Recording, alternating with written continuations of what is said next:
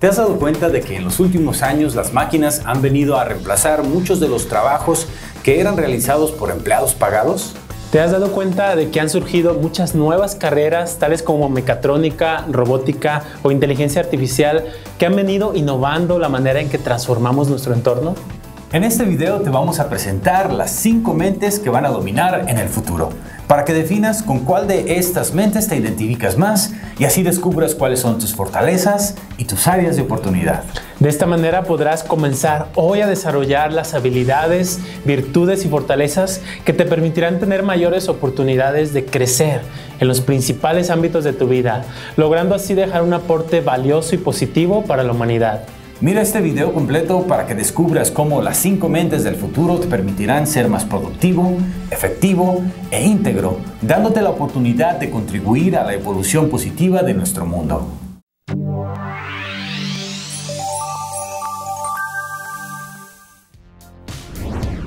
En un video anterior te hablamos de Howard Gardner, creador de la teoría de las inteligencias múltiples. Este mismo gran investigador escribió el libro Las cinco mentes del futuro, en el cual nos presenta una nueva manera de ver la evolución del pensamiento humano y hacia dónde nos estamos dirigiendo en el futuro.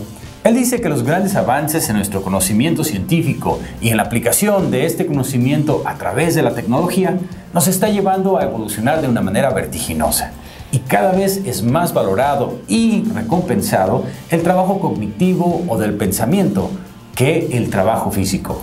Como prueba de ello, podemos mencionarte a grandes visionarios tales como Bill Gates, Steve Jobs, Jeff Bezos, Jan Cohn, Peter Diamandis, quienes han venido transformando y evolucionando la manera en que interactuamos con la tecnología y entre nosotros. Karen menciona específicamente la mente disciplinada, la mente sintetizadora, la mente creativa, la mente respetuosa y la mente ética. Y a pesar de que estas habilidades de pensamiento son independientes entre sí y de que no se desarrollan de una manera equilibrada en todas las personas, es precisamente gracias a ellas que hemos logrado evolucionar como civilización en nuestro planeta Tierra. Esto es importante para ti porque debes empezar a prepararte hoy para que tengas éxito en el mañana. Pero para lograrlo deberás tener claro cuáles son las habilidades de pensamiento que debes desarrollar más. La idea es que identifiques tus fortalezas y tus debilidades para que te concentres más en desarrollar tus fortalezas. Pero sin olvidar que debes buscar una personalidad equilibrada y por ende desarrollar también un poco tus debilidades. Ya que cada una de estas cinco habilidades mentales son importantes para que sigamos logrando una evolución positiva como seres humanos. Es por eso que te vamos a presentar cada una de estas mentes del futuro mencionadas por Howard Gardner pero de una manera más sencilla, que es como nosotros creemos que tú puedes aterrizarlas de manera práctica en tu vida diaria. Número uno, la mente disciplinada. Un individuo es disciplinado hasta el punto en que él o ella adquiere las habilidades que le permitan hacer un progreso constante e interminable en el dominio de una habilidad o un área del pensamiento. Garner nos presenta tres sentidos del ser disciplinado el personal, que tiene que ver con mejorar constantemente tu persona para desarrollar mejor tu vida. El académico, que tiene que ver con aprender a fondo algunas de las principales áreas del pensamiento humano, que son el pensamiento histórico, el artístico, el científico y el matemático. Y el laboral, que tiene que ver con llegar a ser un experto en una profesión, en un oficio o en un arte a través de la mejora continua.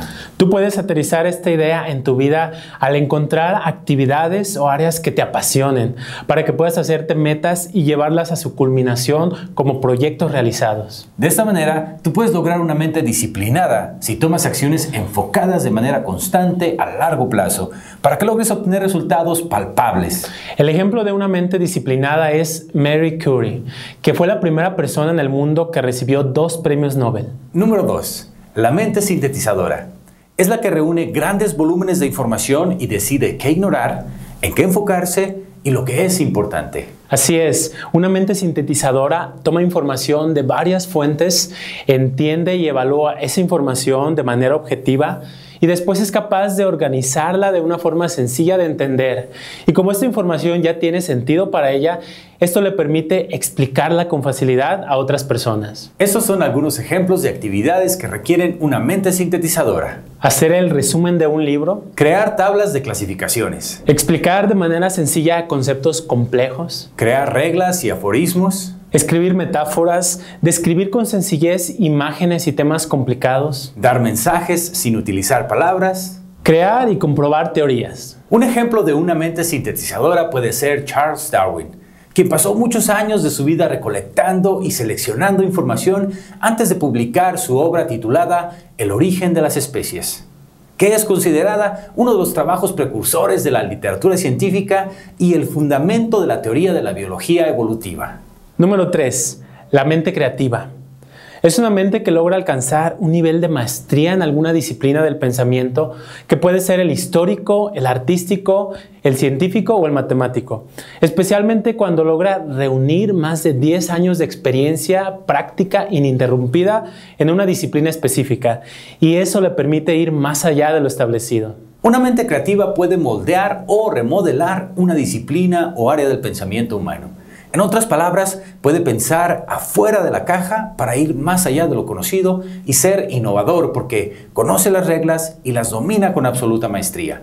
En otras palabras, hay que conocer las reglas para poder romperlas. La mente creativa puede presentar nuevas ideas, hacer preguntas peculiares, evocar maneras de pensar frescas y así puede llegar a obtener respuestas inesperadas. Algunos ejemplos de mentes creativas pueden ser Albert Einstein, quien revolucionó la física con su teoría de la relatividad, y Steve Jobs, quien tuvo la visión de crear tecnología innovadora que es elegante, efectiva y fácil de usar. Número 4. La mente respetuosa. Tiene que ver con la esfera de las relaciones humanas y es la mente que responde de manera empática y constructiva a las diferencias entre grupos, porque busca entender y trabajar con personas que son diferentes. Esta mente incluye un respeto que se extiende más allá de lo que es solamente la tolerancia o el ser políticamente correcto. Una mente respetuosa se distingue debido a que valora las relaciones humanas positivas que abren paso al trabajo colaborativo, la fraternidad, la armonía y la paz entre los seres humanos. Número 5. La mente ética. Esta mente es capaz de tener una visión muy clara de las fortalezas y las virtudes que sabe que debe aportar en su rol como empleado y como ciudadano.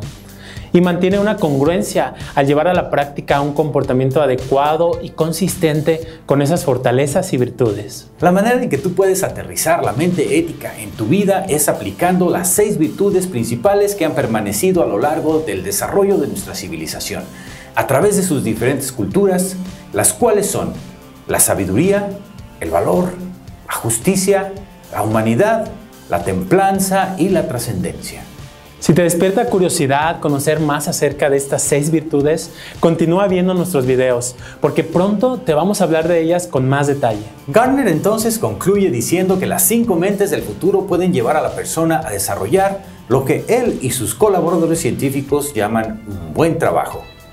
Un buen trabajo, según Garner y su equipo, contiene tres palabras que inician con la letra E.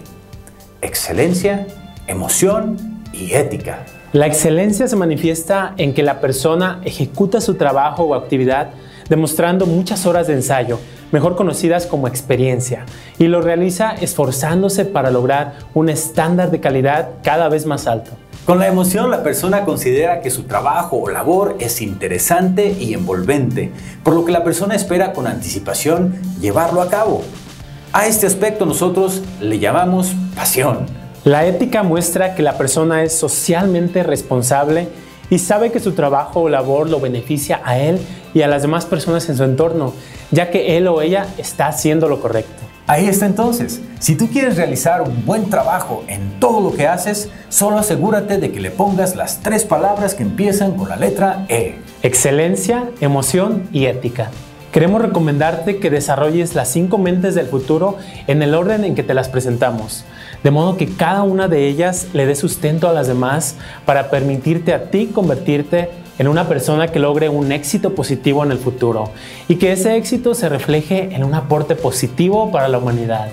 Ahora que ya conoces cuáles son las cinco mentes que van a dominar en el futuro, identifica y desarrolla aquella que puede representar tu fortaleza principal e identifica cuáles representan para ti un área de oportunidad para que logres una personalidad balanceada que te permita ser más productivo, efectivo e íntegro. Y así tengas el poder de continuar cautivando, guiando e inspirando auténticamente mientras contribuyes a la evolución positiva de nuestra civilización.